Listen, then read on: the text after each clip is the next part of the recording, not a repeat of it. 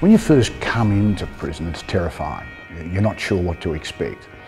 Once you get in and you start to understand how it works and the routine, um, you don't notice it so much.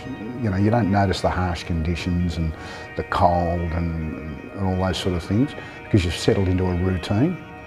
Like down here in D Division, you would get up at seven o'clock, you would go out into the yards, you'd come back in for breakfast at eight, You'd come back in for lunch at quarter to 11 and you came back in for tea at quarter to three.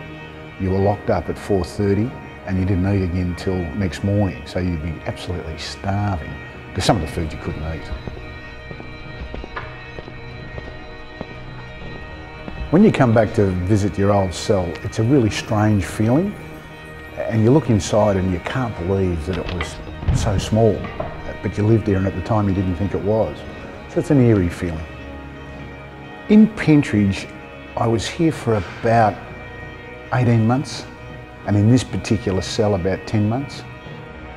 I was a lawyer by background, um, and I got into a hell of a mess drinking and gambling in the 70s. I'm an alcoholic, I didn't know at the time.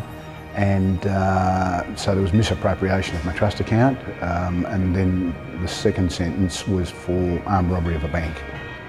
I always thought I was a good lawyer till I got to jail and saw all my clients.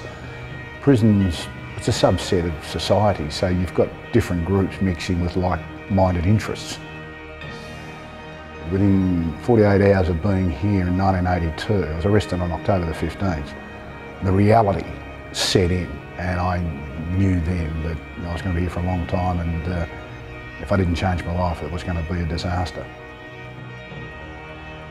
When the owners decided to develop D Division into a wine storage unit, uh, I, I, was literally amazed. And Lee, one of the owners, suggested to me, well, why don't you buy your old cell? And, and I went home and spoke to my wife and, and she sort of said, well, what do you think? And I said, well, I don't think there's too many ex-prisoners have bought their cell back. Uh, so I did, and I didn't regret it, but when a couple of people approached me and said, Graeme, you, you know, you don't drink, you're in recovery, you counsel people, it's not a good look owning a, a wine cell, I sort of thought, yeah, that's probably right. So I spoke to the owners and they very kindly said, look, we'll buy it back off you, Graeme, which is what they did.